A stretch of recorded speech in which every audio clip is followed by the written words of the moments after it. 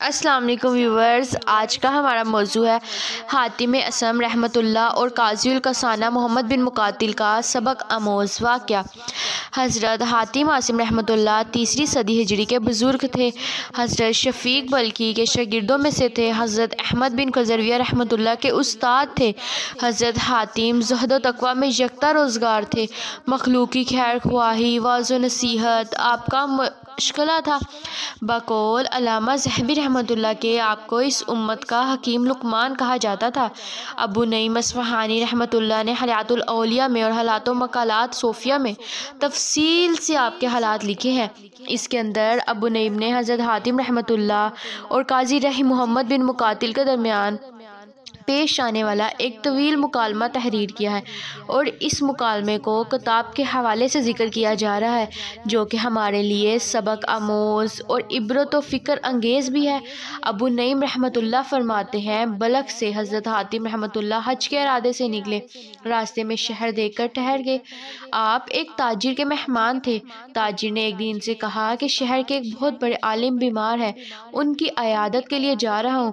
हज़रत हातिम ने कहा, अगर आलिम है तो मैं भी चलता हूँ, क्योंकि फ़िक्या की, आदत की बड़ी फजीलत है, बल्कि फ़िक्या की तरफ़ देखना भी इबादत है। दरअसल ये काजी अलकसना अहमद बिन मुकातिल थे। इस ज़माने में बीमार हो गए थे जब हज़रत हातिम इस मेहमान ताजर के साथ काजी साहब के दरवाज़े पर पहुँचे तो देखा कि दरवाज़ा क्या है। वो तो एक बड़ी अजीम शान डेवरी का इस्ताना है। हज़रत हासिम सोचो फ़िक्र में पड़ गए और बोले कि एक आलम के दरवाज़े का ये हाल है।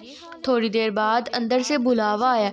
जब डेवरी में दाखिल हुए तो क्या देखते हैं कि फूलों का चमन एक तरफ़ है। फवारे से पानी उछल रहा है और एक कमरे के सामने पर्दे पड़े हुए हैं और लोगों का एक मजमा है, यानी नौकरों और चाकरों का मजमा है। हज़रत हातिम रहमतुल्लाह की हैरत बढ़ती जा रही थी। आखिरकार काजी साहब के सामने पहुँचे देखा कि एक मुकल्लिफ गिदा बिछा हुआ है। उस पर काजी साहब आराम फरमा रहे हैं। काजी साहब सरहाने लाइनें बनाए हुए गुलाम खड़े हैं।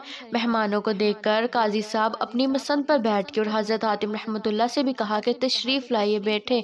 लेकिन वो खड़े ही रहे।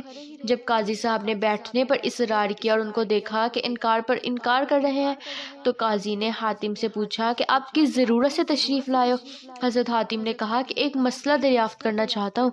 काजी साहब ने कहा, पूछिए। ज़रा इत्मीनान के साथ बैठ जाइए। ग़ुलाम सामने खड़े थे, ताकि काजी साहब के पीठ के पीछे रख दिए और काजी साहब उनसे टेक लगाए बैठ के। इंतज़ार करने लगे कि हातिम रहमतुल्लाह क्या पूछेंगे। उसके बाद ये मुकालमा दोनों में शुरू हुआ।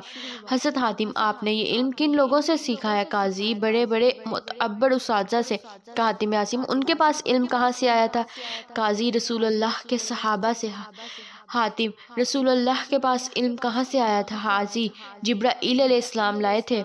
हातिम हाँ तो ज़रा ये फरमाए कि आपके पास इल्म का जो ज़ख़ीरा है, वही ज़ख़ीरा है जिसे अल्लाह से जिब्राईल ने पाया और जिब्राईल ने रसूल को पहुँचाया और रसूल अल्लाह से ये ज़ख़ीरा सहाबा तक पहुँचा और सहाबा से आपके बड़े बड़े मुतबर उस तक पहुँचा। इस ज़ख़ीरे में कहीं काजी की शान शौकत की इशारा, तरफ़ इशारा करके उसकी भी तला दी गई है कि जिसका घर अमीरों के घर के मानद होगा और जिसके पास अमीराना ठाट बाट होगा। अल्लाह के नज़दीक उसी का मरतबा सबसे ज़्यादा बुलंद होगा। काजी, नहीं, ये तो मैंने नहीं सुना। हज़रत हातिम, ये नहीं सुना तो फिर क्या काजी की शान शौकत इशारा करके उसका इल्म भी आप तक पहुँचा है या नहीं? कि दुनिया से रुख फेर कर आखरत की तमीर में जो ज़्यादा मशगूल रहेंगे और गुरबा और मसाकिन से मोहब्बत करेंगे, आइंदा की ज़िंदगी तैयारी करते रहेंगे, खुदा के नज़दीक उनका ही बुलंद मरतबा होगा। उसी के साथ हज़रत हातिम को जोश आया और उसी जोश में फरमाने लगे तुमने अपने आप को किन लोगों की ज़िंदगी से मुतमिन कर रखा है? रसूल अल्लाह वसम और आपके सहाबा और उम्मत के सालहीन की ज़िंदगी से या फ़िरौन नमरूद की ज़िंदगी से? तुम्हारे कलब ने इतमान को पाया है, वही फ़िरौन नमरूद की सल्तनत से जिसे ईंट और चूने की तमीर की इब्तदा हुई। काजी ने कहा वो गौरव फ़िक्र से सुन रहे थे और हातिम फरमाते जा रहे थे कि उल्मा, सो तुम ही को एक बेचारा गरीब, जहर मुसलमान, दुनियादार दिखता है और कहता है कि जब एक आलिम इस हाल में है तो फिर अपने आप को मैं इससे ज़्यादा बुरे हाल में नहीं पाता। कहते हैं कि बेचारे काजी के होश हज़रत हातिम की तकरीर से लड़स गए थे।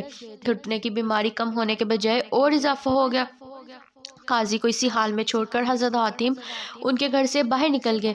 अबू नईम आगे तहरीर फरमाते हैं कि अहले राय को जब इस वाक़े का इल्म हुआ तो उन्होंने हज़रत हातिम से अर्ज़ किया कि हजूर, कजवीन के तनाफसी अशप्रस्ती में इनसे बहुत आगे बढ़े हुए हैं। हज़रत हातिम तनाफसी के पास पहुँची और एक नावाकिफ़ शक्ल में काजी तनाफसी से वज़ू करने का तरीका पहुँचा। उन्होंने बतला दिया, हातिम आसिम ने कहा, मैं आपके सामने वज़ू करता हूँ। कोई गलती रह जाए तो दुरुस्त करा दीजिएगा। ये कहकर वज़ू करने लगे। इब्तदा में दो तीन दफ़ा हर उज़ू को धोया। जब हाथ धोने की बारी आई तो बजाय तीन दफ़ा के चार दफ़ा हाथों को धोया। काजी तनाफसी ने टोका कि तुमने गलती की है। पूछा कि क्या गलती है? काजी तनाफसी ने कहा, तीन बार से ज़्यादा धोना पानी को बेकार ज़ाया करना है और शरीयत में इसको असराफ फजूल, खर्ची करार दिया गया हज़रत हातिम ने सर उठाया और कहने लगे सुबह अल्लाह मैं गरीब आदमी तो एक पानी का चुल्लू बहाकर इसराफ का मरतकब ठहराया गया। और जनाबे वाला ने यह तराख जो इकट्ठा कर रखा है, आखिर ये क्या है? काजी समझ गए कि हातिम का मतलब वज़ू का तरीका सीखना नहीं, बल्कि उन्हें मतबा करना था चनाचा और उस पर इनका इतना असर हुआ कि घर गए तो चालीस दिन तक बाहर ना निकले।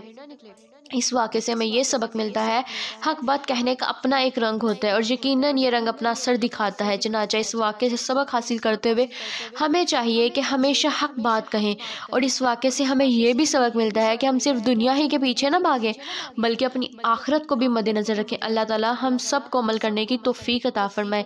आमीन, या रब्बुल आलमीन। अगर आपको ये वीडियो अच्छी लगी तो लाइक करें, शेयर करें, कमेंट करें और इस तरह की मज़ीद अच्छी इस्लामिक वीडियोज़ देखने के लिए चैनल को सब्सक्राइब करें। शुक्रिया।